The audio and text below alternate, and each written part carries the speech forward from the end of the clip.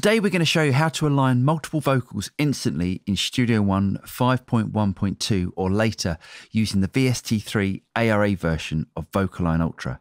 If you're using an older version of Studio One, please refer to the VocAlign Ultra manual for instructions on how to capture audio with previous versions of Studio One. This video is to help you get started. More in-depth tutorials can be found on our website. Today we're going to align the timing and pitch of some doubles to a lead vocal performance.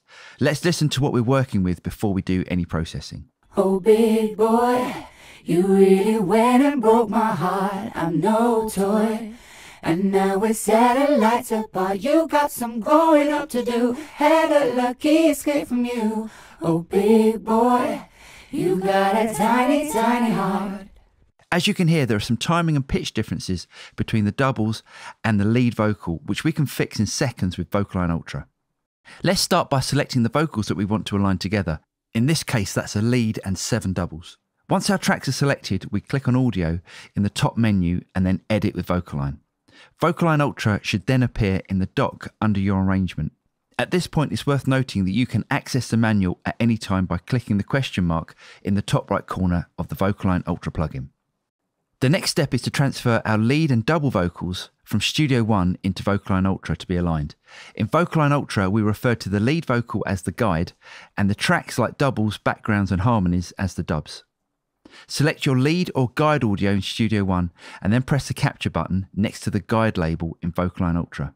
As Studio One supports drag and drop, you can also just drag the events straight into VocAlign Ultra. You can now see the guide waveform has been successfully loaded into VocAlign Ultra as seen here in blue. If you're working with multiple dubs, we recommend you select a suitable preset in VocAlign Ultra before capturing your dubs, as further processing changes are applied to each dub individually. Now we select the doubles or dub vocal audio in Studio One and then click the capture button next to the dub label in VocAlign Ultra. You can now see the dub waveforms have been successfully loaded into VocAlign Ultra and are shown here in orange. Once your guide and dubs have been captured, newly aligned audio outputs are automatically created and returned to Studio One. The new outputs are shown here in yellow. You can also see the blue outline of the guide has been placed over the top of the outputs, so you can quickly compare how similar the signals are. As we said previously, once you capture your dubs, any changes you make in the VocAlign Ultra plugin will be applied to the currently selected dub. To change the settings for an individual dub, just select the dub track in Studio One and then adjust the settings in the VocAlign plugin. You can always check the dub which you're changing the settings for by referring to this label here. As we're using the ARA2 version of VocAlign, the audio in Studio One has been automatically updated. So to listen to the results, we just need to press play. But first, let's listen to how a vocal sounded before. Oh, big boy, you really went and broke my heart. I'm no toy. And now with satellites apart, you got some growing up to do. Had a lucky escape from you. Oh, big boy, you got a tiny, tiny heart. And then after being processed by VocAlign Ultra. Oh, big boy, you really went and broke my heart. I'm no toy.